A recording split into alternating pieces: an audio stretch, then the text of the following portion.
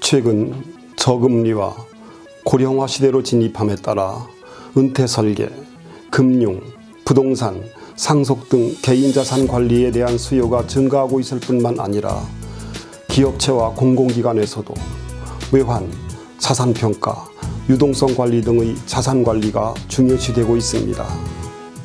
자산관리학과는 이러한 사회적 수요를 반영하여 감정평가사, 종합재무설계사, 자산관리사, 공인중개사, 부동산 공경매사와 같은 공인 자격을 갖춘 개인 및 기업의 자산관리 전문가 양성을 목표로 하고 있습니다.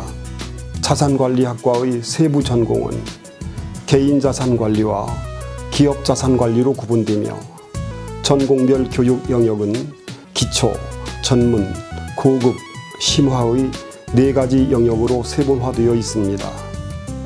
그리고 각 교육 영역은 금융, 부동산, 법률, 회계, 세무 등 자산관리 전문가가 되기 위해 필요한 전문 지식을 갖추도록 설계되어 있습니다.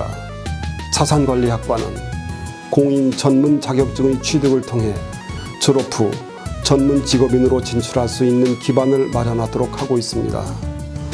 자산관리학과를 졸업하면 기업의 자산관리 담당자로 재취업하거나 개인 사무실을 운영함으로써 안정적인 노후를 설계할 수 있습니다.